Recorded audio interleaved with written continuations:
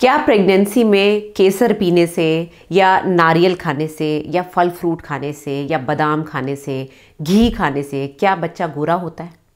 Well well, आपको लग रहा होगा मैडम को आज ये क्या हुआ? मैडम ये सब क्यों बता रही है? मैं गायनेकोलॉजिस्ट हूँ मैं सिर्फ़ माँ नहीं मैं बच्चे को भी देखती हूँ जब डिलीवरी होती है। मैं तीन दिन तक जब तक वो माँ हॉस्पिटल में रहती है अगर सिजेरियन हुआ है तो। नॉर्मल डिलीवरी तो एक दो दिन रहती है।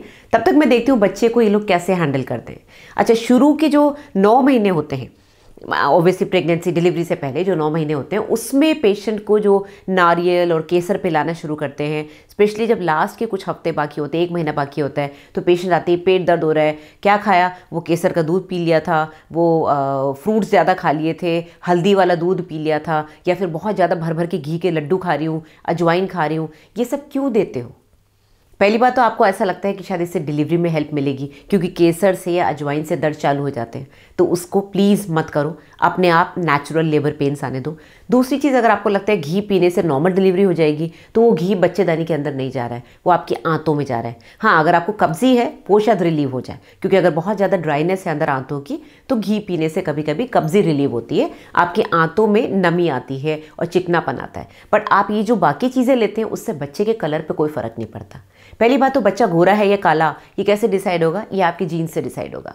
क्योंकि आप अगर, आपकी जीन्स में अगर मिलेनिन पिगमेंट ज़्यादा है तो बच्चे में भी वो आएगा। आपने देखा होगा, पहले बड़ी बड़ी फैमिलीज़ होती थी, दस दस, पंद्रह पंद्रह बच्चे होते थे। उसमें कुछ बच्चे गोरे, कुछ सांवले, कुछ एकदम काले।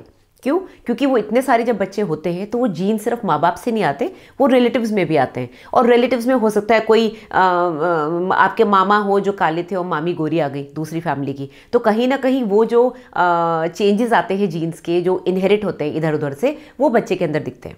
अभी छोटी फैमिलीज़ होती हैं, उसके बावजूद देखा गया कि अगर दो बच्चे भी हुए तो एक काला, एक एक गोरा है। वो उसके किसके जीन्स आए हैं, वो अपने को पता नहीं। तो आपके खान पान से आपकी हेल्थ पे फ़र्क पड़ेगा, बच्चे की वेट पे फ़र्क पड़ेगा, बच्चे के दिमाग पे फ़र्क पड़ सकता है येस बट बच्चे के कलर पे कोई फ़र्क नहीं पड़ेगा। तो प्लीज़ ये गलतियाँ ना करें।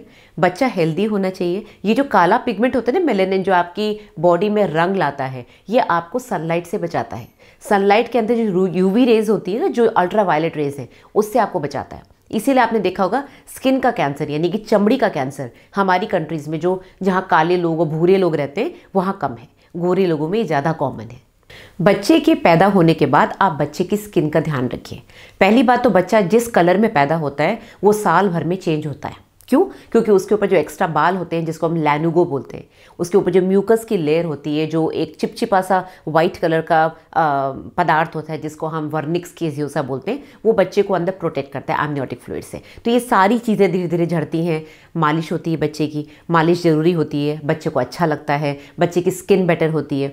अब बच्चा क्योंकि कुछ खाता नहीं, सिर्फ़ दूध पे रहता है, पानी भी नहीं पिलाते हम, क्योंकि ब्रेस्ट मिल्क में अच्छा खासा पानी होता है तो इसकी वजह से बच्चे की स्किन ड्राई हो सकती है स्पेशली वहाँ पर जहाँ पर एटमॉस्फेयर में ड्राइनेस बहुत है। तो डेफिनेटली बच्चे की ड्राइनेस को हटाने के लिए मालिश करनी चाहिए। बच्चे की मसल्स अच्छी होती है, बच्चा रिलैक्स होता है, बच्चा खुश होता है, बच्चे की गैस निकलती है पेट पे मसाज करने, करते हैं तो। वही जैसे एडल्ट्स का होता है। इसी तरह से बच्चे की मसाज के समय थोड़ी कसरत हो जाती है, बच्चे की जॉइंट्स थोड़े सफल हो जाते हैं। तो जो भी आप ऑयल यूज़ कर रहे हैं, चाहे वो कोई मसाज ऑयल हो जो मेडिकेटेड ऑयल्स आते हैं, या फिर ओलिव ऑयल हो, या कोकोनट ऑयल हो, या इवन सरसों का तेल हो, आप इसको अच्छे से मसाज करिए। बच्चे की स्किन के ऊपर जो डर्ट जमती है, जो कचरा जम जाता है, या जो भी है, बच्चा एटमोसफेयर में के टच में आया है, बच्चा पॉटी करता है, बच्चा दूध पी के उल्टी करता है, वो सारी गंदगी निकलेगी। बच्चे की स्किन अच्छी होगी। बच्चे के जो फोल्ड्स हैं, बच्चे को तो खुद को क्लीन करना नहीं आता। बच्चे की नाभि, बच्चे के फोल्ड्स बच्चे के पैरों पे थोड़ा फैट होता है, बच्चे के हिप्स बच्चे के घुटनों के पीछे जो फैट है,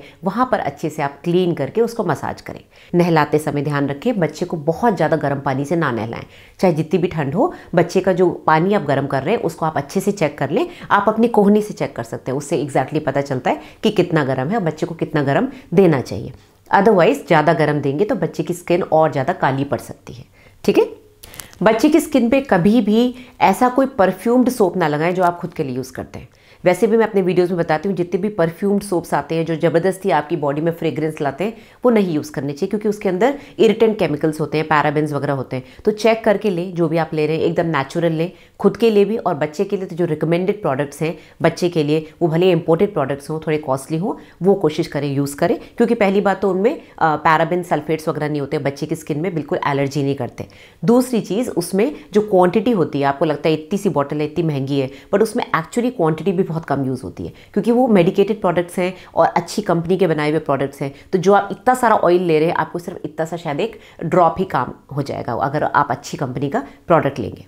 ऑयल के साथ साथ मॉइस्चराइजिंग बहुत ज़रूरी है। अगर ड्राई एटमॉस्फेयर है विंटर्स हैं तो बच्चे को दिन में तीन चार बार आप मॉइस्चराइज करिए। जो डायपर वाला एरिया है, उसको पानी से क्लीन करने के बाद मॉइस्चराइज करके फिर डायपर पहनाइए। ये गलती बहुत सी माएँ करती हैं। और जब मैं पहली बार माँ बनी थी तो मुझे भी मेरी जो पीडियाटिशियन है, उन्होंने ये बताया था कि ये एक प्रैक्टिकल चीज़ है जो कहीं किसी किताबों में नहीं लिखी है। कि जब बच्चा पॉटी करता है या टॉयलेट करता है, उसका डायपर गीला होता है, उसका जो एरिया है, आप उसको, जो जेनेटल एरिया आप उसे पाउडर ना लगाएँ। पाउडर लगाकर आपको लगता है कि आपने उसको बिल्कुल खुशबूदार कर दिया और ड्राई कर दिया। नहीं पाउडर उस एरिया को और ज़्यादा इरिटेट करेगा, क्योंकि फोल्ड्स के अंदर पाउडर घुस जाएगा और ज़्यादा रैशेस बनेंगे।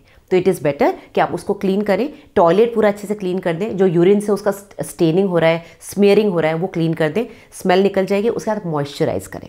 मॉइस्चराइज करने के बाद आप डायपर पहनाएँ।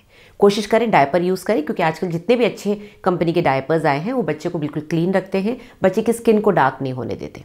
साथ ही अगर आप बच्चे को बाहर लेके जा रहे हैं तो जैसे आप सनस्क्रीन यूज़ कर रहे हैं, वैसे ही बच्चे के लिए भी सनस्क्रीन आते हैं। सनस्क्रीन यूज़ करने से आप जो जो बच्चे के सेंसिटिव स्किन में अल्ट्रा वायलेट रेज का जो गंदा असर आ सकता है, आप बच्चे को उस चीज़ से बचा सकते हैं। बहुत से लोग बच्चे को दूध से नहलाते हैं, बच्चे को दही से नहलाते हैं, उपटन बनाते हैं। मैंने खुद की अपनी डॉटर जो मेरी इंग्लैंड में पैदा हुई थी, उसको खूब उपटन लगाया था। कारण ये था कि उसके इतने सारे बाल थे और मुझे लगता था लड़की है। पता नहीं, कुछ बच्चे बहुत हेरी पैदा होते हैं। तो जब वो इतनी हेरी पैदा हुई तो हमने उसको उपटन लगाया था। वो उपटन भी हमने स्पेशली पूछ कर उसमें क्या क्या डालते हैं, वैसा बनाया था। तो ये सब आप कर सकते हैं, इसमें कोई नुकसान नहीं है। दही डालिए, दूध डालिए सॉफ्ट उपटन बनाइए। बच्चे की जो चमड़ी होती है, बहुत सॉफ्ट होती है। You have to be very careful जब आप उसको रगड़ रहे हैं और डेफिनेटली उससे बच्चे के कॉम्प्लेक्शन तो नहीं, बच्चे की स्किन पे फ़र्क पड़ेगा और जो एक्स्ट्रा बाल और जो एक्सेस वर्निक्स वगैरह जो चिपका हुआ रहता है, जो अनवांटेड आपकी स्किन की जो ऊपर की चीज़ें वो सारी निकल जाएँगी। तो दैट्स इट गाइस इतना ही मुझे आज बताना था कि बच्चे की स्किन पे ज़्यादा खिलवाड़ ना करें, ज़बरदस्ती काजल वाजल ना लगाएँ उसको सुंदर दिखाने के लिए या नज़र से बचाने के लिए। उसको साफ़ सुथरा रखें, साफ़ सुथरे कपड़े पहनाएँ और जैसे आप अपनी स्किन का ध्यान रखते हैं, बच्चे की स्किन का और ज़्यादा डबल ध्यान रखना ज़रूरी है।